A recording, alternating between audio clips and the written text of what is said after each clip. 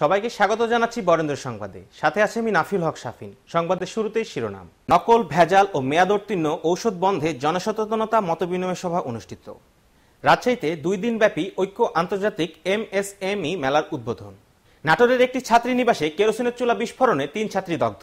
তৃতীয় আন্তর্জাতিক এমএসএমই দিবস উপলক্ষে বৃহৎ বিনিয়োগ হোক ক্ষুদ্র ব্যবসায়। এই স্লোগানকে সামনে রেখে রাজশাহীতে দুই দিনব্যাপী ঐক্য আন্তর্জাতিক এমএসএমই মেলা নগর ভবনের গ্রিন প্লাজায় বেলুন উড়িয়ে উদ্বোধন করেন রাজশাহী সিটি কর্পোরেশনের mayor A H M Khairuzzaman Liton. অনুষ্ঠানে সভাপতিত্ব করেন এসএমই উদ্যোক্তা উন্নয়ন উইং ঐক্য সভাপতি ও রাজশাহী মহানগর আওয়ামী লীগের সহসভাপতি বিশিষ্ট সমাজসেবী শাহিনা আক্তার রেনি। অনুষ্ঠানের প্রধান অতিথির বক্তব্যে সিটি মেয়র খায়রুজ্জামান লিটন বলেন, ক্ষুদ্র ও মাঝারি উদ্যোক্তারা নীরবে বিশাল কাজ করে চলেছেন। ঐক্য ফাউন্ডেশন গত চার থেকে পাঁচ বছর ধরে কাজ করে একটা জায়গা নিয়ে এসেছেন ক্ষুদ্র ও মাঝারি উদ্যোক্তাদের। ডিজিটাল প্ল্যাটফর্ম ব্যবহার করে অনলাইনে পণ্য বিক্রি করতে পারবে উদ্যোক্তারা। দেশে নারীর ক্ষমতায়ন ও নারীদের অগ্রগতিতে কাজ করছেন মাননীয় প্রধানমন্ত্রী শেখ হাসিনা। দেশে নব্বই লাখ নারী উদ্যোক্তা সেটার একটি প্রমাণ। অনুষ্ঠানে সভাপতির বক্তব্যে ঐক্য সভাপতি বিশিষ্ট সমাজসেবী শাহিনা আক্তার রেনি বলেন, উন্নয়নের জন্য এস এম ই এবং আমরা কাজ করে যাচ্ছি নিবিড়ভাবে। ঐক্য আজ তৈরি করে দিয়েছে দক্ষিণ সর্ববৃহৎ S M E online market, Oikko dot com dot BD. Oikko store আজ তৈরি করছে আট বিভাগে এস এম ই উদ্যোক্তাদের পণ্য নিয়ে ঐক্য S M E chain store. দেশের চারশো একানব্বইটি উপজেলায় ঐক্য তৈরি করছে তরুণ এস এম ই উদ্যোক্তা এবং প্রতিটি উপজেলায় একটি করে digital S M E state of art outlet. গড়ে তুলছে ঐক্য বলয়। উদ্যোক্তাদের কর্মীদের ফ্যাক্টরিতে গিয়ে স্বাস্থ্যসেবা দিয়ে নিয়মিত ঐক্য হেলথ কাজ করছে।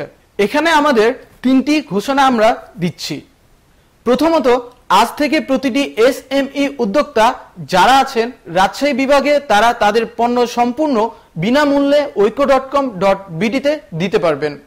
দেশ এবং দেশের বাইরে আজ তাদের পণ্য বিক্রয় হবে। এ এক ডিজিটাল জয়।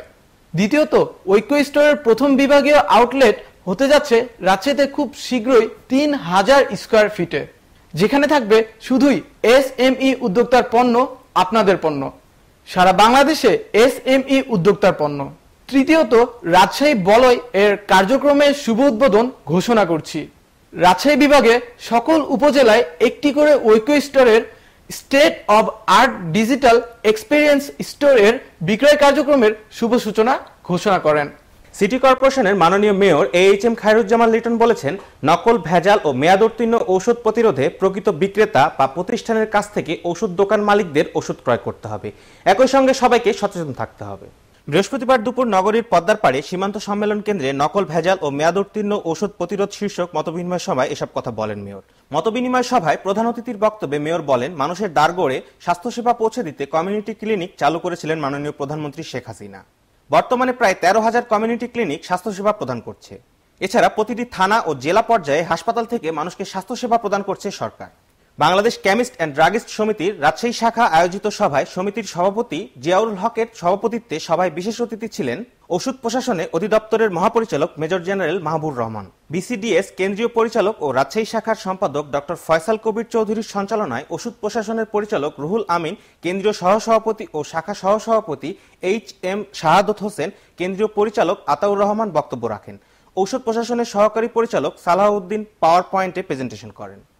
খুশি হবেন যে বর্তমানে একশো ছয়চল্লিশটা দেশে, আমাদের দেশে ওষুধ রপ্তানি হয় তার মধ্যে আমেরিকা আছে। তার মধ্যে ইউরোপিয়ান ইউনিয়নের দেশ আছে। এটি কিন্তু আমাদের বিশাল একটা গর্বের বিষয়। মাননীয় প্রধানমন্ত্রী শেখ হাসিনা, তিনি এর আগে যখন প্রথমবার দায়িত্ব পান উনিশশো ছিয়ানব্বই সালে ছিয়ানব্বই থেকে দু হাজার একে যখন তিনি প্রধানমন্ত্রী ছিলেন, তখনই তিনি এই স্বাস্থ্যসেবাকে জনগণের দৌড়গোড়ায় নিয়ে যাওয়ার জন্য কমিউনিটি ক্লিনিক চালু করেছিলেন, আপনারা জানেন সবাই, আমরাও জানি সবাই, যেটি ইউনিয়ন পর্যায়ে স্বাস্থ্যসেবা দেওয়ার জন্য প্রাথমিক কিছু চিকিৎসা করার জন্য সেখানে বিভিন্ন পুরাতন ভবন বা কিছু কিছু জায়গায় নতুন ভবনে তখন সেভাবে নতুন করা যায়নি তখন তবে তিনি চালু করেছেন। নাটোর শহরের একটি ছাত্রী নিবাসে কেরোসিনের চুলা বিস্ফোরণে তিন ছাত্রী দগ্ধ হয়। আহতদের মধ্যে দুইজনকে রাজশাহী মেডিকেল কলেজ হাসপাতালে ভর্তি করা হয়। একজনকে নাটোর সদর হাসপাতালে চিকিৎসা দেওয়া হচ্ছে। বৃহস্পতিবার সকালে শহরের বড়গাছা মহল্লায় এই দুর্ঘটনা ঘটে। আহতরা হলেন নাটোরের নবাব সিরাজউদ্দৌলা সরকারি কলেজের একাদশ শ্রেণির ছাত্রী। আহতরা হলেন শামিমা ইয়াসমিন, শামজিদা ইয়াসমিন ও ফাতেমাতুজ্জোহরা।